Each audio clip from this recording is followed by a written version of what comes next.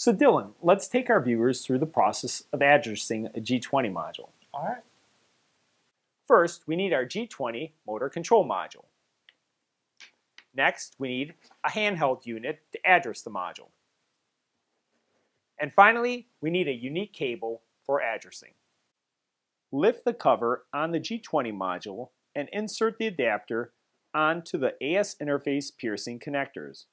When properly seated, the adapter will snap under the cover clip.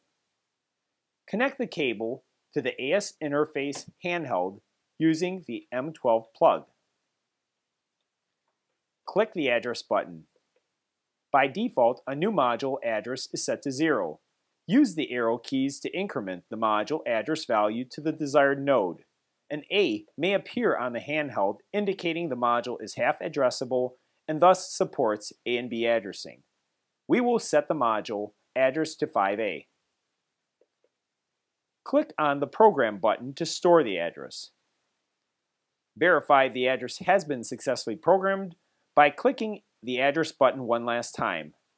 The address stored should now appear correctly.